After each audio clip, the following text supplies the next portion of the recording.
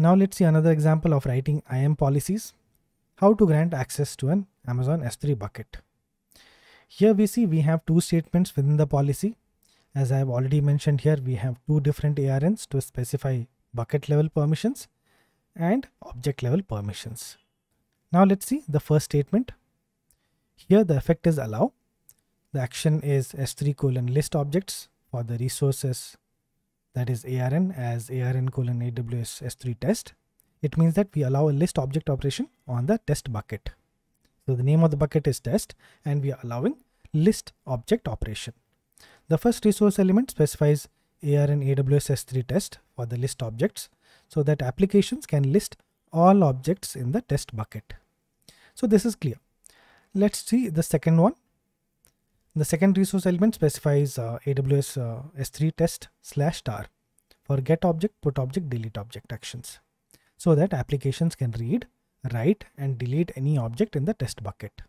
Here as well, the effect is allow, which means that it can allow or it's an allow operation on the resource test slash star. So here you would ask me, why have we divided these into two parts? We could have written all the operations for both bucket level and object level permissions like test star and we could have minimized the code. And even though it is a valid question, let's see why we have written it like this. If you see the first statement here, it precisely specifies allow permission for the list object and this returns some or all up to 1000 of the objects in a bucket. So that's basically to list the objects. But still, we did not combine the two ARNs by using a wildcard such as test star.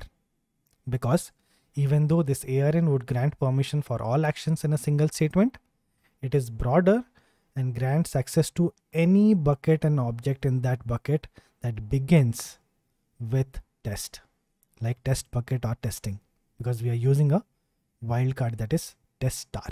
And that is why if you write test star, this policy would apply to any bucket that start with test like testing, test world, test dev, tested, testify, and so on. And this example might sound stupid right now, but let's suppose you make this small error and eventually you will end up messing the data that you wish to collect. Or if suppose in any case, if you apply this and you accidentally apply a delete using this policy, you might be aware of what might happen next. now that you're aware of this, let's see how it actually looks like in real time. Let's read this statement again so that it gets imprinted in our head. So what is AWS IAM? AWS Identity and Access Management or IAM is a web service that helps you securely control access to your AWS resources. When a principal actually makes a request in AWS, the AWS enforcement code checks whether the principal is authenticated. Authenticated means whether it is signed in. And also it checks if it is authorized, which means if it has permissions or not. So I hope this is clear to all by now. Let's suppose this is your account and this is your principal. And as I already told you, it can be a user, a role, a federated user, or even an application that is sending a request to use the resources in your account. And when a principal makes a request in AWS, the AWS enforcement code checks whether the principal is authenticated and authorized. And you manage access in AWS by creating policies and attaching them to IAM identities or AWS resources. And these policies, when attached to an identity or resource, define their permission. These could be either identity-based policies or resource-based policies or other roles or account-based policies. And it's not that only users or principal should belong to the same account. It could also be from a different account as well. Or they can be from different accounts as well. For example, you're working on a deployment and as a cloud engineer, you want to perform an update on an account that belongs to another in-house team. So you can do that by using an assume role feature. And from your account itself, you can access resources in another account. And when the principal makes the request and upon authentication and authorization, it is allowed to perform operations via actions that is from console or operations like using API calls or CLI commands. Similarly, like we do, like creating an S3 bucket, starting an instance or stopping it or terminating it.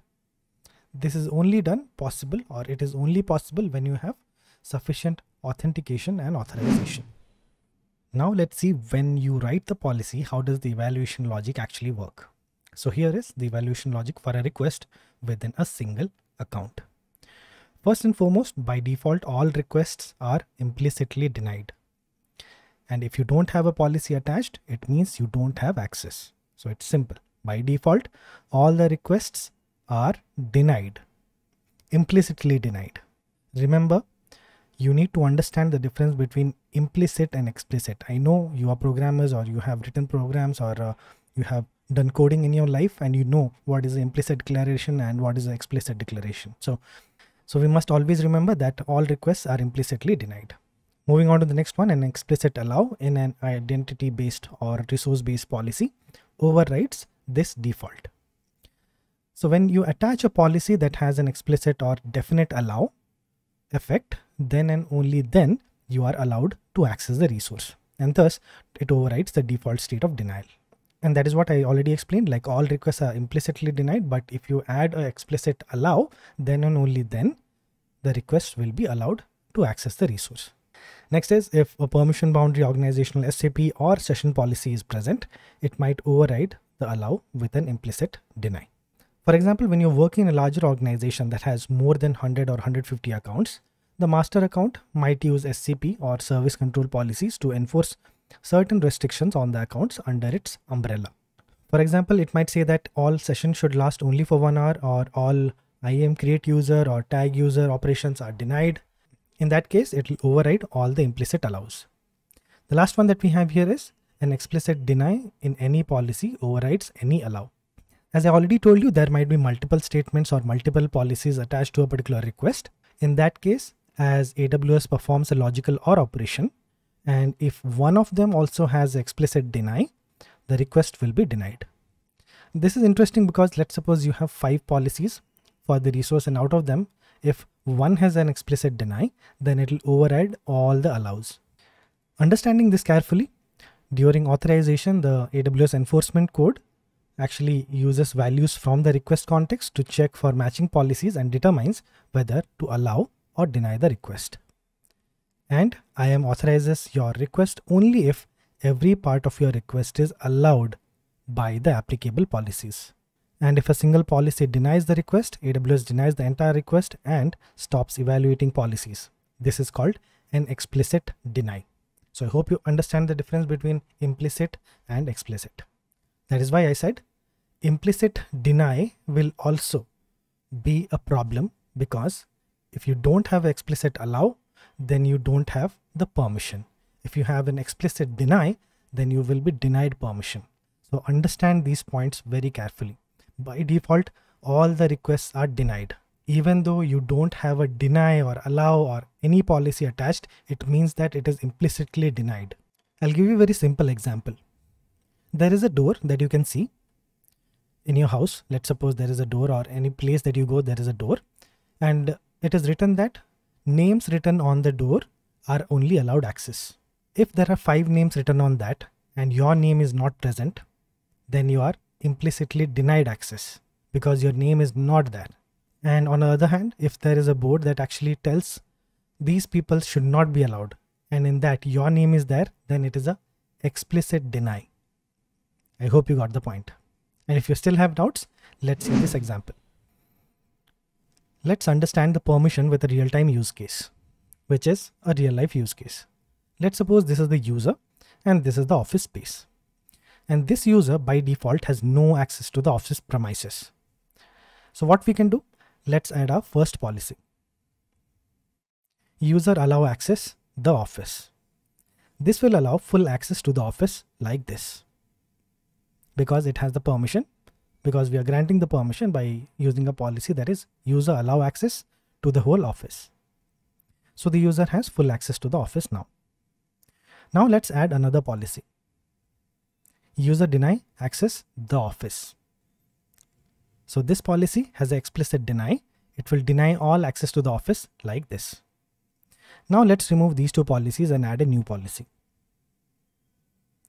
Now this policy has a custom access to the user for the CEO cabin and the breakout area.